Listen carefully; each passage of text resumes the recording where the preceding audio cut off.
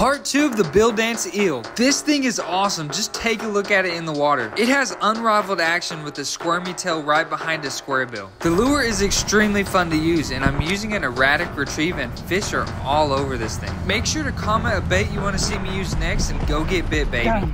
On the Bill Dance lure, baby. On the Bill Dance Eel.